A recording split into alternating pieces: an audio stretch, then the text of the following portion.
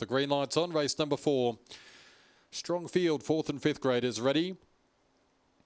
Racing Ringbark Rage check shortly after the start, back to near last, and spearing out from out wide as power to control to zip over and lead. Corduroy's handy and now rails through to join. Three away third, then is Moonlit Evening trying to improve around them as Ringbark Rage. Code Blue, Blast Zone, Wellback Oriental Gale, and last of all is on the buses. Oriental Ollie's back with those. Up in front though, and power to control leading down the outside. Corduroy, Corduroy, all power to control. They're wide apart.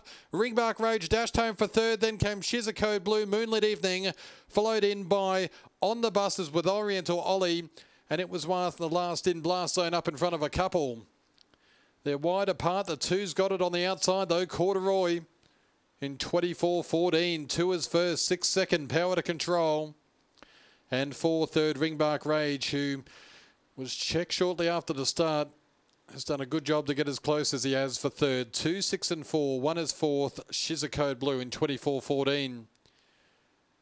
Two, six, four, and one. Corduroy, who was always up nice and close, railed through underneath the power to control.